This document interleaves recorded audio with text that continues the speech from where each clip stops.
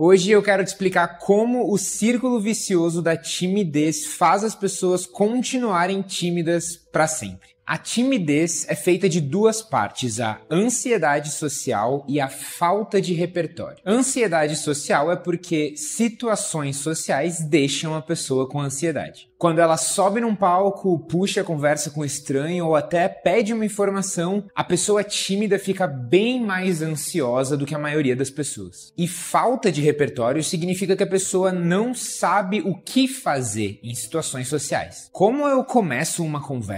Se a gente fica sem assunto, o que, que eu faço? O quanto eu tenho que olhar no olho da pessoa? Meu Deus, socializar é tão complicado. E quando você junta ficar ansioso com situações sociais com não saber o que fazer em situações sociais, você cria um ciclo vicioso. E esse é o ciclo vicioso da timidez. Ele funciona assim: Quanto mais tímida é a pessoa, mais medo ela tem de socializar e por isso mais ela foge de situações sociais. E quanto mais ela foge, menos ela aprende como agir em situações sociais. E quanto mais ela foge, menos ela aprende como agir em situações sociais. E como puxar assunto, olhar no olho, se apresentar, fazer piadas são habilidades que você aprende, a pessoa acaba nunca treinando e essas habilidades ficam ficam atrofiadas. E quanto menos habilidade ela tem, mais tímida ela continua sendo. Esse ciclo vicioso faz a pessoa tímida viver em um casulo. Esse casulo protege ela de sentir ansiedade social, afinal, ela foge de socializar. Mas esse casulo também faz ela ser para sempre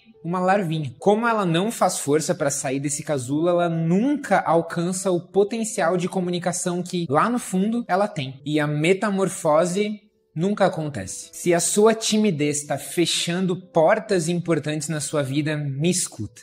Para de esperar você estar preparado para começar a mergulhar na vida. Você vai sempre sentir alguma ansiedade social, desde hoje até os seus 95 anos. O importante é se você consegue fazer o que importa apesar da ansiedade social. Mesmo sentindo ansiedade no seu corpo, você tem o poder de não fugir e deixar a casca do seu casulo ser forçada até ela se romper. É dolorido sim, mas é a única coisa que vai quebrar esse ciclo vicioso. Acredita, dentro de você vive presa uma pessoa gigante que consegue ser firme, mas gentil, comunicativa, mas não forçada. E você tem o poder de fazer essa borboleta sair do casulo. Começa a quebrar esse ciclo hoje. E se você acha que esse vídeo pode ajudar mais pessoas por aqui, não esquece de deixar a sua curtida aqui no canto e de compartilhar. E se você quiser fazer terapia com a gente de qualquer lugar do mundo, dá uma olhada no link aqui em cima ou aqui embaixo. Tchau, tchau!